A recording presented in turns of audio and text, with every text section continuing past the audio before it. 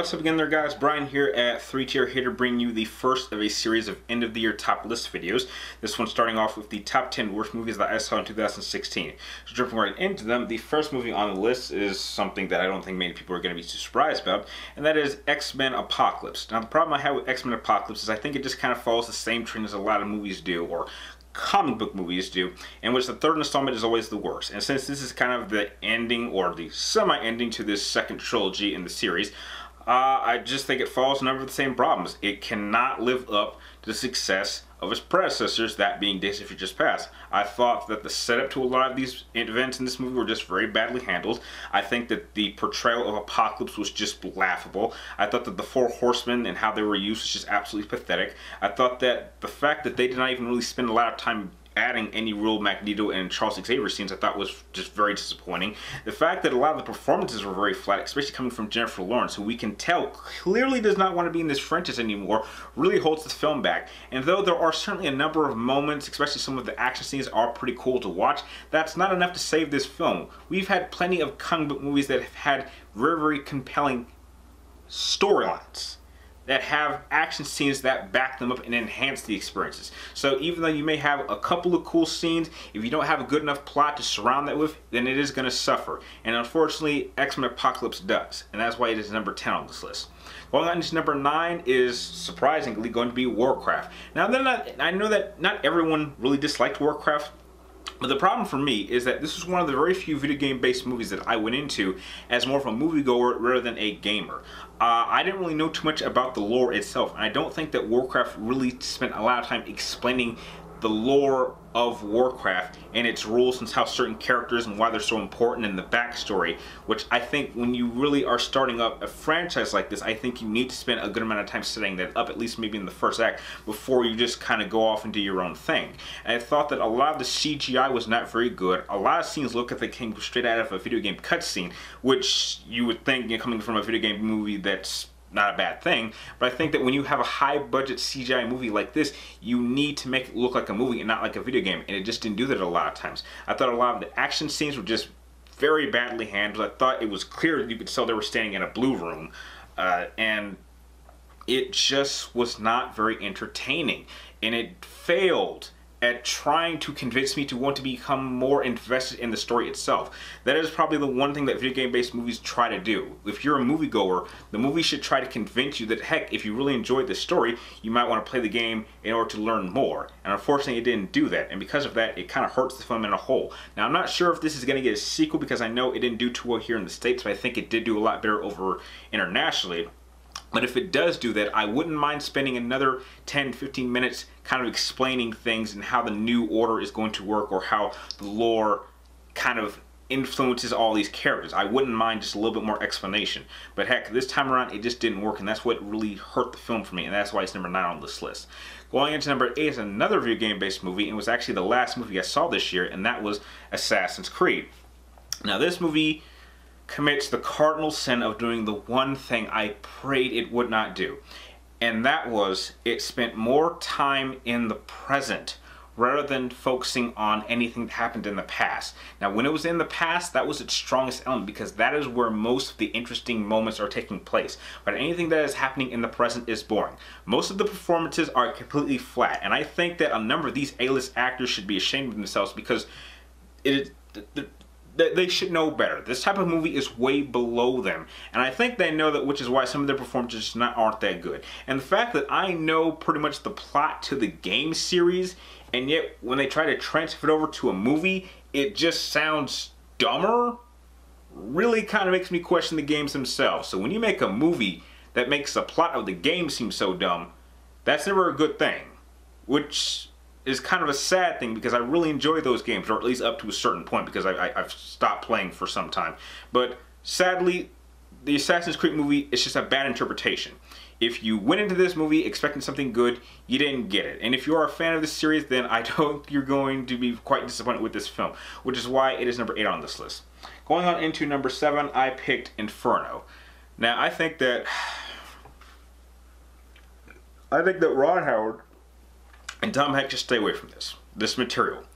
because I'm going to be honest. This is coming from someone who actually liked the Da Vinci Code and actually thought Angels and Demons was actually a pretty damn good film. But I think that going into a third movie which is not a good idea because the formula that had been running to the first two films just doesn't work this time around. I think that the plot is so convoluted and some of the elements are so just insane that it's impossible to take it seriously and to the point where it kind of becomes almost a comedy.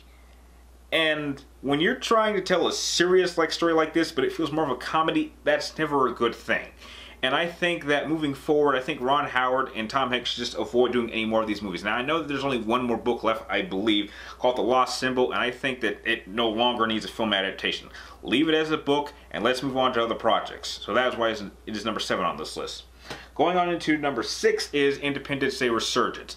Now, I think the biggest problem that in this movie suffers is that they waited 20 years in order to do a sequel. Now, it's not to say that, that couldn't have worked, but I don't think that you didn't have a lot of the major parts that made that first movie great.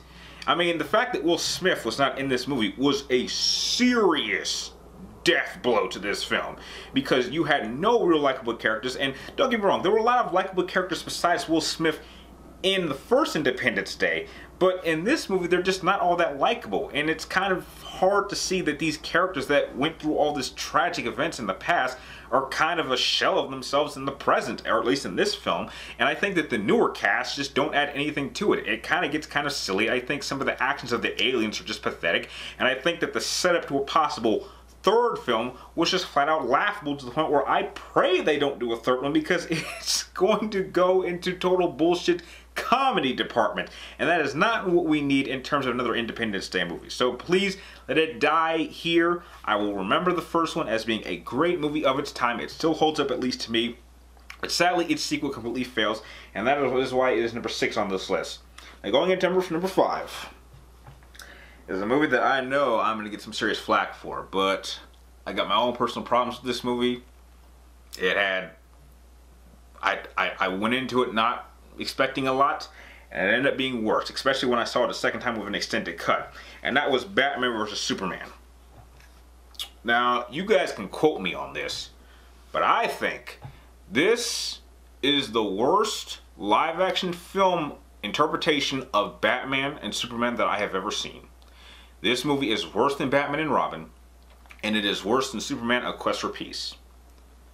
The problem that I have with this film is that Zack Snyder is clearly biting off more than he can chew. This movie has too many plot lines. The characters are completely unrecognizable. And there's no explanation for it. This movie is trying to do so much. It is trying to set up a Justice League movie so badly. It can't do any movie right. I mean, we're, we're not sure if it's supposed to be a, a, a story about Superman, about uh, the world trying to understand what he's all about and him trying to prove himself. We're not sure if it's about Batman who feels that Superman is a threat and needs to take him out. We're not sure if this is about bullshit Jesse Eisenberg playing God knows who he is because he damn sure ain't Lex Luthor. And then you got Lois Lane with this plotline here, and then you bring Wonder Woman in here, and then you got Doomsday out of nowhere, and it it it's a mess. This movie is a mess. And the fact that people had the balls to go on record and say, oh, you need to watch the extended cut. You need to, it has an extra 30 minutes that explains some things. Well, I watched the extended cut. And all I gotta say is three hours for that? Three hours? And I get this? You must be out of your fucking mind about this three hour mess. Zack Snyder clearly has no respect for the source material, and it is clear that no one in Warner Brothers' head department knows a goddamn idea what they are doing. This is a train wreck on the move, and I have no faith in any more movies coming out from the DC Cinematic Universe. The only movie I plan on seeing moving forward is Ben Affleck's Batman film because he is seems to be the only one taking this seriously. I'm damn sure not going to be seeing Wonder Woman. I'm going to be avoiding that movie like the plague. And as long as Zack Snyder is driving this sinking ship, I have no faith in Justice League. I mean, if he can fuck up the Trinity, I don't even want to know what he's going to do with the Justice League. Oh my god. I mean, people like to say that Fox should give up its rights of the X-Men and just give them to Disney. I think it would be better if Warner Brothers just sold its rights and gave them to Disney. I would love to see what Disney would do with these characters because it is clear that without Christopher Nolan to hold their hand, Warner Brothers doesn't know at all what they're doing. I was severely disappointed. And the fact that there are people backing this movie up that call themselves fans makes it that much more insulting. And that's why it's number five on this list. Going into number four, we get into joke shit territory. And they and there is no other movie that more illustrates this than Gods of Egypt. This is a parody. It is a terrible CGI hour and a half long parody with performances that are so bad, they are so over the top that it's laughable. Gerard Butler, I think he's a I think he's a cool guy. I really do. I like some of his movies, but his performance made Leonidas from 300 look like Shakespeare. And I thought the CGI was just horrible. And the characters were just cartoon characters to the point where any action scene I just couldn't it just it looked bad. It was some of the worst blue or green screen I have seen all year. And I think that there are some people that are just fighting to hating this because of all the whitewashing. I, I think that it needed a much better cast because these guys clearly just did not look like they belonged there. It was it, this is probably the worst casted movie I've seen to date. That's supposed to be a period piece, and that's why it's number four on this list. Going on to number three is probably a movie that I hoped would be entertaining, but it wasn't and I should have expected it. And that is Zoolander 2. This is an example of an outdated movie that came out too late. Now, I loved the first Zoolander. I think it's a funny movie, but it is a movie of its time. A lot of the jokes in this movie are so outdated. You can tell that this should have come out maybe a year or two years after the first movie. The fact that they waited so long, it really suffers. And I'm sorry, some of these jokes just no longer work. I thought some of the performances were just lackluster. Some of these elements no longer work. And having so many cameos just made it very distracting. Ben Stiller, you are a product of your time. You kind of suffer the same fate as a lot of the old classic comedians like Jim Carrey or Mike Myers, where or, or Adam Sandler, dear God, is which the jokes that you told back in the day just don't work. You need some new material or do something new. You are a good actor. You have done some movies recently that I really enjoyed. And you've done some movies in the past that I really enjoy and still enjoy them today. But you got to let these type of characters go. You need some new material, or you need to update it seriously. And sadly, Zoolander 2 refuses to do that, and that's why it's number 3 on this list. Now we go into number 2, which... This was probably the most sh shocking movie I saw this year.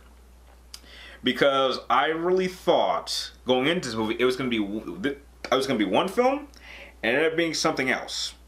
This movie, without question, has the worst case of false advertising I've ever seen for a movie in some time.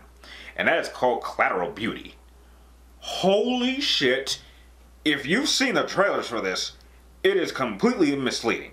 Now, Will Smith has always been one of my favorite actors. And I heard that, you know, because he lost his dad this year, that this movie was kind of for people who've lost a loved one, and I lost my dad this year too, so I thought this was going to be a movie that, you know, might help people through their pain. No. This is the most despicable, disgusting plot for a film I've ever seen. With characters who are just disgusting and horrible human beings. Now, I can't, I'm not going to say what this movie did wrong. But I think that if you go to someone who's willing to talk about spoilers and you hear the actual plot of this movie, which is not much of a spoiler because they tell you exactly what they're doing, you will find it very disrespectful for people who've gone through tough times like this. And the fact that I went to this blind made it all the more worse. Everyone who's associated with this film, of cast, director, and script writers, should be ashamed of themselves that they want to attach themselves to this product. I was shocked, I was horrified, and I was disappointed with everyone, including Will Smith. He should have known better. I don't know why he signed on to this, but he better give me something better next year. Because this is probably the worst movie I've seen him in, period. It's one of those movies that supposedly was going to give him the Oscar or give him some, you know, awards nominations, but uh, no. Oh, God, no. And if I just piqued your interest because of my reaction to this film, please, please don't. Don't watch it. Please. It is that bad. But as bad as Collateral Beauty is, that's only number two. The worst movie I saw this year should not be a shock to any of you because it was the most disliked trailer of all year. And that is Ghostbusters. Oh my god. This was a fucking horror show. Ghostbusters is probably one of the most iconic comedy movies in cinema history. And the fact that this studio would do such disrespect to the franchise is horrifying. Now, I'm not going to come on camera and say it was all because it was all women, because I, I have no problems with that. Hell, I would have been fine if they had done a Ghostbusters movie, a true sequel to the original two Ghostbusters movies that had female Ghostbusters. I would have been fine if there had been two female Ghostbusters and two male Ghostbusters. Show them working together. Don't just give everyone sex changes. Don't do that. Especially when you have four main actresses that I, I don't think are funny at all. I mean, people say these actresses are funny in their own stuff, but I, I don't think they're funny at all. This movie was not funny, and the fact that they had the balls to make a, th this is pretty much a carbon copy of the first film. I went through the same goddamn problem with Star Wars The Force Awakens, which is why that was the worst movie I saw last year. The only reason I didn't say it was because at the time I knew if I had said that, I'd have a lot of people coming after me with torches and pitchforks wanting to hang my ass. So, I'm not afraid to say it, this is the worst movie I saw this year. This would definitely fall into the category of not just being the worst movie I saw in 2016, but being in at least the top five worst movies I've ever fucking seen in my life. I am glad this movie bombed. I hope we never see anything like this for this franchise. Let it die. I will stick to the two movies that already came out. And hell, as far as I know, the video game, the Ghostbusters video game, which I believe came out in 2009, is the true Ghostbusters 3 movie. It's fine just the way it is. The, studio should be ashamed of themselves for what they did. Because if you really want to make a movie for little girls be inspired to be Ghostbusters, they deserve better than this. And I just feel bad because they're not smart enough to realize what shit was sold to them. And that there are actually people defending this is all the more disrespectful. And that's my list of the top 10 worst movies I saw in 2016. Now please, Share your list with me. What were some of the worst movies that you saw in 2016? Share your list with me and everybody else in the comments down below. And if you like this video, feel free to like, comment down below, and please subscribe to keep track of me in my future videos. And like always, thank you guys for watching. You're awesome, and I will see you next time.